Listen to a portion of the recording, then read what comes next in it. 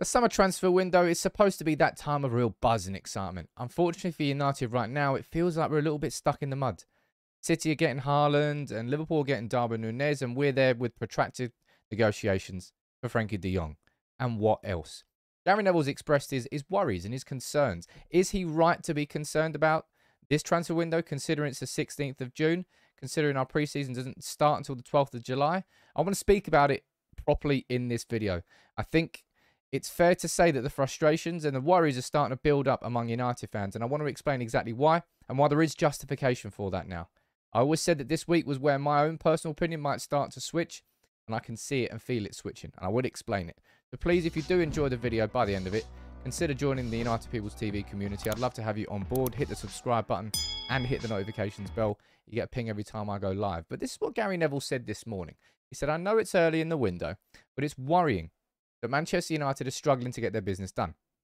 The others seem set and ready, yet United can't get moving. Erik Ten Hag needs his group together ASAP to mould them.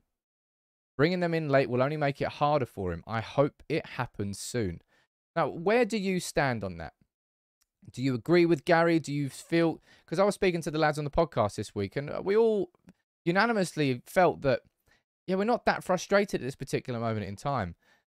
But I feel that sort of changed quite a bit this week. Now, I'm somebody who's waxed lyrical about all the changes that have happened behind the scenes. At the hand of that man, John Murtough has been leading the changes to United from a boardroom level, structurally.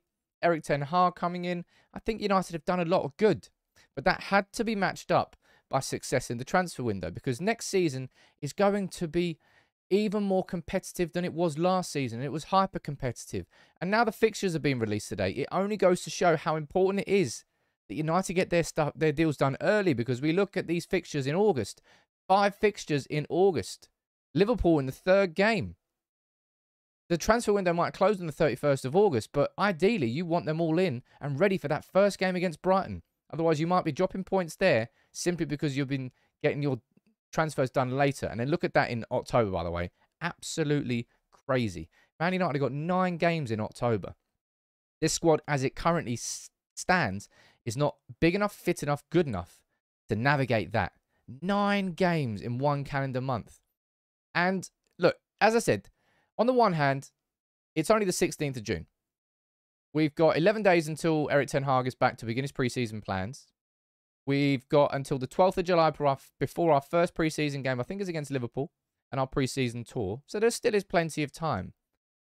But I think that the worries are starting to build because there's there's evidence evidence is starting to mount. And let me run through all of this and why I think there is justification now for concerns and worries. Not huge scaremongering fears, but I've I've got genuine concerns. We went into this summer. It's emerged since I think it was the day of the FA Youth Cup final that Frenkie de Jong is our number one target. Absolutely our number one priority this summer. Now, my personal opinion, that should be a defensive midfielder instead of a playmaker, but that's just by the by. Irrelevant of that. The de Jong situation has dragged on.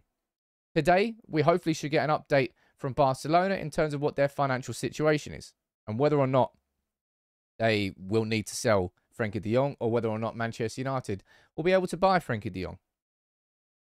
Let's find out what goes on there. He's our number one target. And if we're being completely honest, the way it shaped up this summer, it looks like Darwin Nunez was really quite high on Manchester United's list. Now, ultimately, that didn't come to fruition because Benfica wanted a bidding war. They ideally wanted United and Liverpool to sit there scrapping it out and trying to get Darwin Nunez like a house uh, at an auction. We weren't willing to pay 100 million euros for a player who has to become who has to play second fiddle to Cristiano Ronaldo and share the game time until next season when that sort of the torch would have been passed on. We weren't going to spend 100 million on Darwin Nunez. We got outpriced on that one. Then we look at another priority for Erik Ten Hag, and we're pretty sure it's Jurrien Timber, the Ajax 20-year-old defender, to be brought in by Erik Ten Hag. One, one centre back, one playmaker, one attacker. That's what we were all told were the priorities going into the summer. And now with Jurrien Timber, we're seeing and hearing reports that he may well be staying at Ajax. And the chances of him staying now are pretty big at the club. Now, it's these things all sort of mounted on top of each other that fill me with a little bit of concern because as I, as I said here on Twitter yesterday, I said if, if Erik Ten Hag has prioritised Frenkie de Jong and Jurrien Timber and he ends up with neither of them this summer, then it's a very bad situation. It really is. And as, as I said, I'm not too upset about Darwin Nunez. I clearly think he would have been a very good signing. I also know that United don't have the funds this summer to spend £100 million on the attacker when we have to sort out the spine of our team first. Jurrien Timber is an interesting one. At the age of 20, I could understand if he feels he doesn't need to move away from Ajax at this particular moment in time. But he could become a central figure for United and play week in, week out. So it's semi a bit of a lack of ambition if he doesn't want to move. Or maybe he doesn't trust Erik Ten Hag in the process. But with Ten Hag, look, I said this on Twitter yesterday as well. I said, look, Erik Ten Hag, after the Ajax title celebrations, could have gone to the Caribbean, got pissed up, drank cocktails on the beach for three days, and forgotten everything. He would have been a very, he would have deserved it. But he didn't.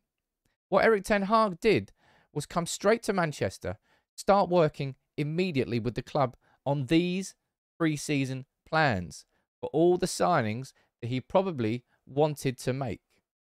And instead, we're now sat in a situation where it's 11 days until the pre-season, and Manchester United, as far as we know, what we know, we've put in a bid for Frenkie de Jong. That's been rejected. We're still in negotiations. We've missed out on Darwin Nunez because we got outpriced in negotiations. And Jurrien Timber, we don't know what's going on there. No official bid has actually happened yet. Now, I like to think that a lot of stuff is happening behind the scenes and that this man over here is really going to surprise us all. History dictates to us that that won't happen. As I said, Manchester United fans, uh, we have to head into every summer like this with a natural point of pessimism because the club's just let us down so many times over the last, I don't know how many years. But United really are not at this moment in time getting it off onto the front foot. And that's why I think that Gary Neville is right to have those worries, right to have those concerns. Because at the same time as United are sitting here, still trying to negotiate a deal for Frenkie de Jong, still trying to figure out who else we're going to be signing. You see, Man City are now going to be going after Marc Cucurella. They've already signed Erling Haaland. They don't rest on their laurels. They're going to be getting, well, Marc Cucurella, he scored against us in our when we got spanked at the Amex. He did look pretty damn decent, I'll be honest. Um, they're going to go and get him. No doubt they're probably going to be shifting Gabriel Jesus or maybe Raheem Sterling too. We've just sold a keeper. Gavin, I can't remember, name, can't remember his second name. 15 million to Southampton. Ridiculous. They're going to be spent. They're going to get like 100 million plus from sales this summer to bolster the already big budget that they've got. Whilst Erik Ten Hag is, as I said, kind of left waiting at this moment in time. I'm not saying that time that we don't have enough time because we do have enough time. But United have got to pull the finger out. United have got to. I, I told you, and I've said this before.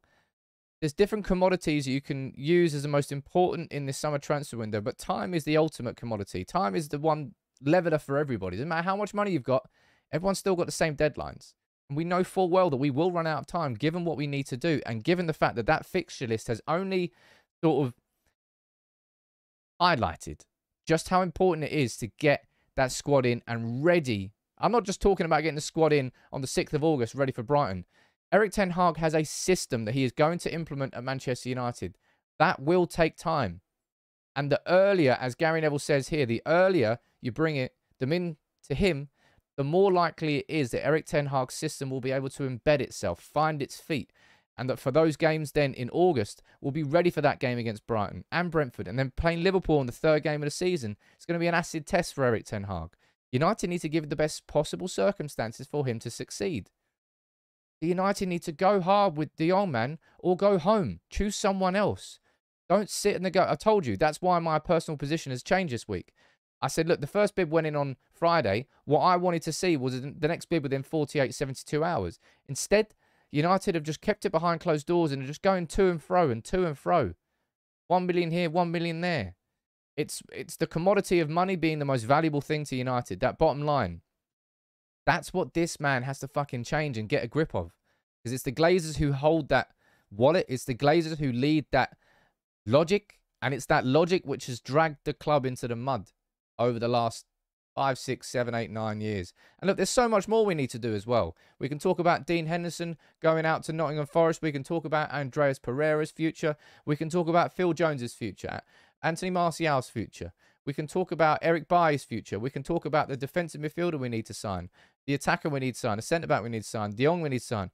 There's so much to do, far more than all the other clubs around us, or certainly far more than City and Liverpool. And that's the only two th- two people that we should be aiming towards, the top. It's where we want to be. Everyone else is fucking irrelevant.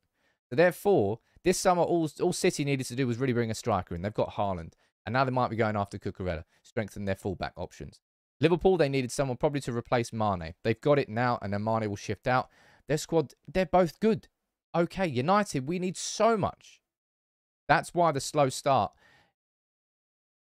is worse for United than it would be for other clubs because we've got so much to do and so much promise. And we're in a position now with this manager where if we get it right, we can start climbing that ladder again.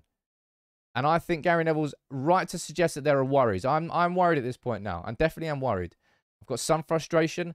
I do think a little bit of the frustration, as I said to this point, has been slightly over exaggerated. But where do you stand at this point? Are you worried? Are you past worried? You let me know what you think in the comments below. But yeah, the transfer window was always going to be tough for United this summer. But the longer that we leave it and the, the, the more time that we waste, the harder we make it for ourselves to complete what we need to do.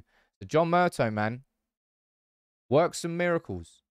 You've got you were you were the one who didn't want to bring in someone like Paul Mitchell because that was a, not, I'm not saying Paul Mitchell was definitely available, but somebody of his ilk with his experience was available.